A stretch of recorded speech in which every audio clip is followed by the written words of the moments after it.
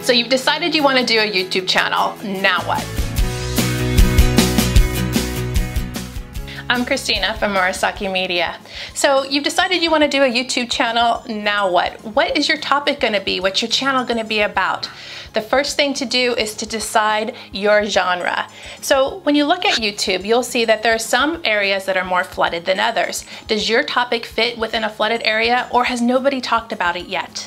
The next thing when you decide on kind of a topic that you want to talk about is to research. So before I started on my experimental channel and before I even turned the camera on, I went to YouTube and saw what people were doing already, what they were doing well, what they weren't doing well, what I liked, what I didn't like. And then I decided to do something a little bit different than everybody else. And then lastly is to actually start.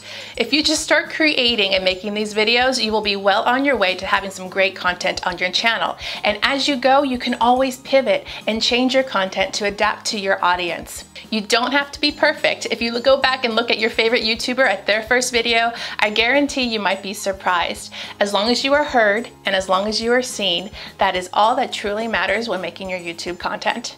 Give me a thumbs up and make sure to click subscribe to see more videos like this.